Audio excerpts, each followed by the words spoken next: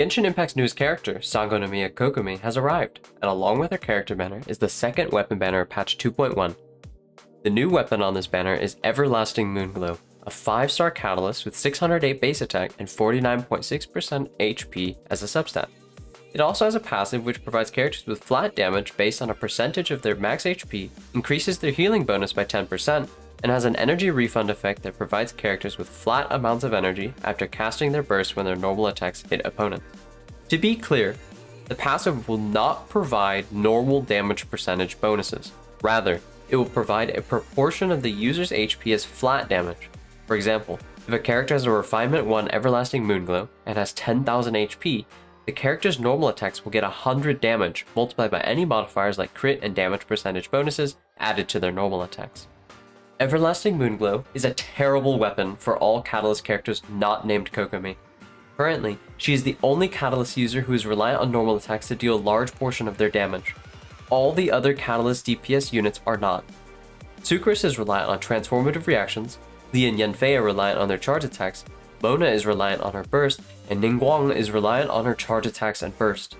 Thus, the flat damage bonus to normal attacks does very little for them. Additionally, the energy recharge passive demands field time, which means that the only characters who could plausibly even somewhat benefit from this catalyst are normal attack reliant, energy hungry catalyst users.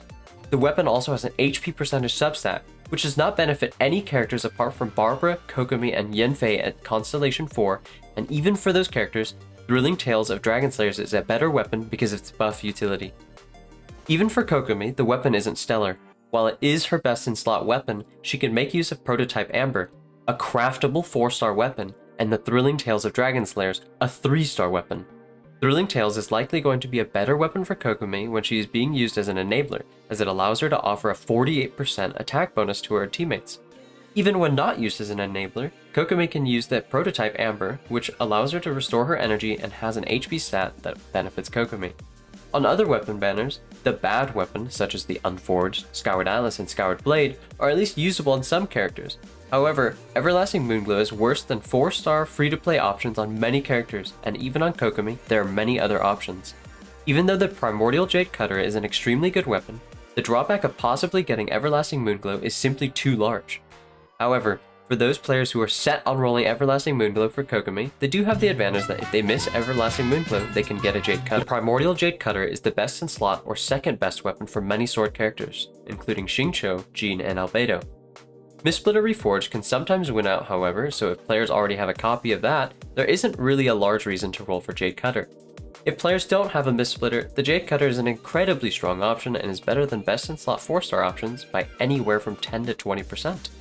As for the 4-star options on the banner, there's the Stringless, the Flute, Dragon's Bane, Favonius Codex, and the Favonius Greatsword. Of these weapons, the Stringless is quite good, while the Dragon's Bane is an option on Reverse Melt Rosaria and Xiangling. The Flute is an extremely niche weapon, but can work for Kaeya Freeze, while the Favonius Greatsword and Favonius Codex are usable on characters who need a significant amount of energy, such as Noelle and Mona. Overall, while some of the 4-star weapons on banner are decent, most of them are mediocre and only have niche uses. It is not overall recommended to at all to pull on this banner. Everlasting Moonglow is simply unusable on most characters, and even if players have Kokomi, her supportive role allows a 3-star Catalyst, the Thrilling Tales of Dragon Slayers, to be good on her without the Primogem cost of Everlasting Moonglow.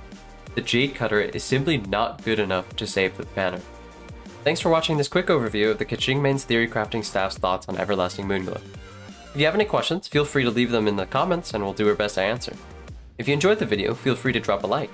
If you'd like to see more quick guides and other informative content in the future, subscribe to the channel. You can stay more up to date on KQM Theory Crafting Thoughts by dropping in our Discord or on Twitch. You'll find the links in the description below.